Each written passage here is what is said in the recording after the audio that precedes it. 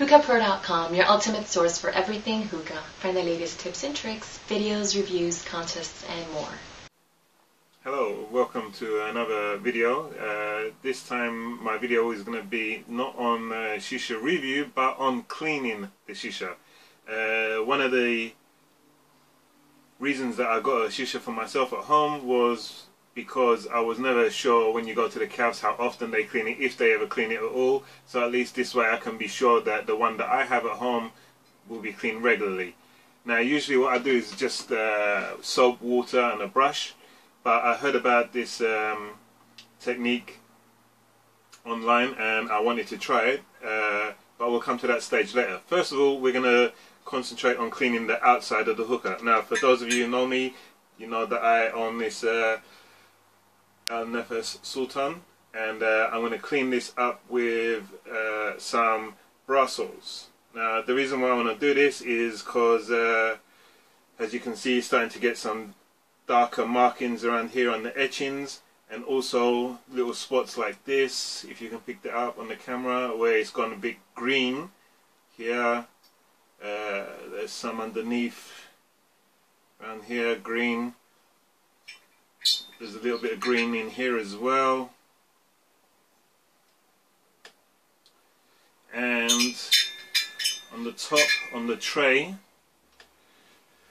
where I rest the coals, you can see there is a build up of some grey type residue in the leaves here. So, I'm going to give this a nice polish up on the outside and then later on we're going to take this into the bathroom and clean up the inside. But for now, the outside, uh, I'm going to polish up. Brasso is what I'm going to be using. Got uh, one cloth to apply, one cloth to take it off, and uh, some cheap disposable toothbrushes for the more finer detailing. So we're going to cut out now, and after I polish it up, I'll come back and show you what it looks like. Okay, so welcome back. Um, as you can see now, um, I've polished it all up. So it's a nice, uh, bright, shiny, got a bit more, uh, all that black stuff has uh, been removed. And all of the green residue that was on here before has all gone, as well as any of the uh, grey build-up that was in the uh, tray from the coals and so forth that I used to leave on the top. So yeah, that's what that looks like. So it's all nice and shiny now. Um, a word of advice, when you're using that Brasso, I would recommend that you do it outside or at least in a well ventilated area because that stuff really does stink, it's really strong.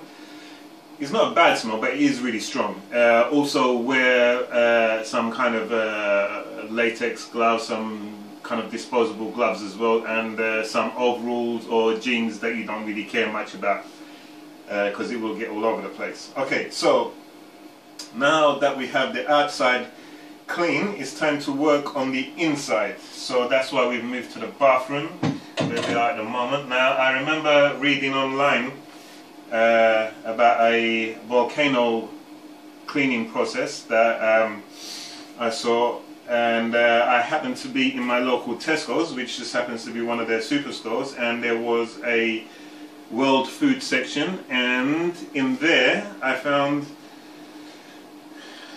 baking soda, which is what we are going to use for the inside cleaning. So basically what we're going to do here, these are the brushes that I generally use with a bit of salt to clear the inside of the vase and the uh, stem. But for this experiment we're going to, and this is the first time I've done this so we'll be doing this together. I read on the uh, forum that you need to use a quarter cup of this. Now, we don't work in American measurements, so I'm just going to put maybe about four teaspoons, dessert, dessert spoons, four dessert spoons of this into the vase which I have placed into the bucket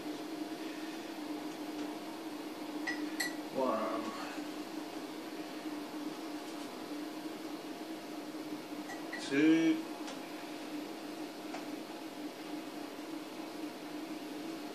three,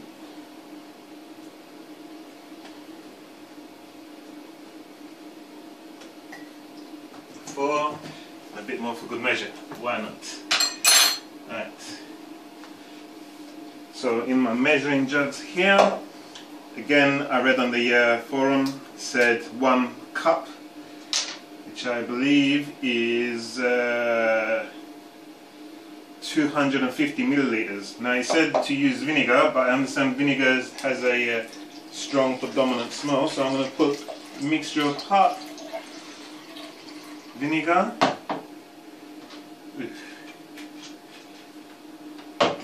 and part lemon juice.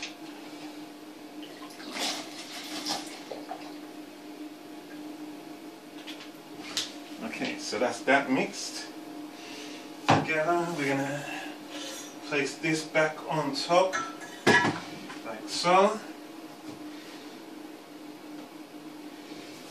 Uh, these are my, uh, forgot what you call these, these plastic bits uh, that you put on there. I'm going to just chuck these on the bottom there. And hold these two bits down.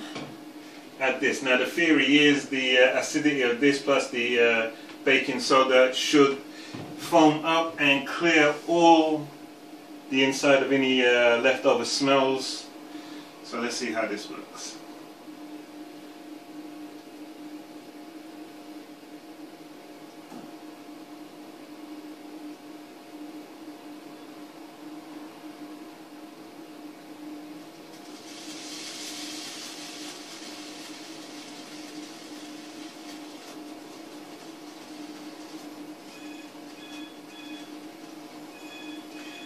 One thing that I was concerned about was how if any of this spills over onto the uh, paint of the vase, the vase, if that would make any effect, but I guess we're soon going to find out.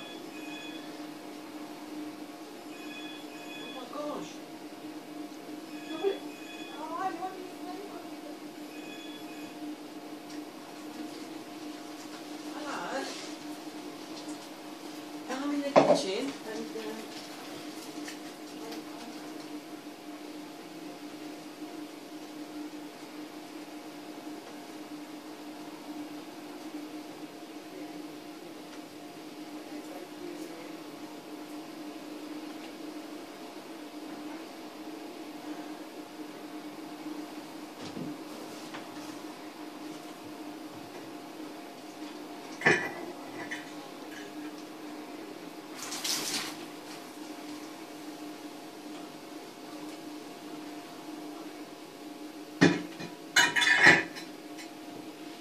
Okay, so basically what I'm going to do now I'm just going to leave that to sit in there for a little while. Uh, maybe I might repeat the process one more time and then rinse it. Uh, make sure there's no smell in there whatsoever. Go over it with the brushes just one more time and then we should have a nice clean hookah smelling fresh, brand new, ready to be smoked out of. Thanks for watching.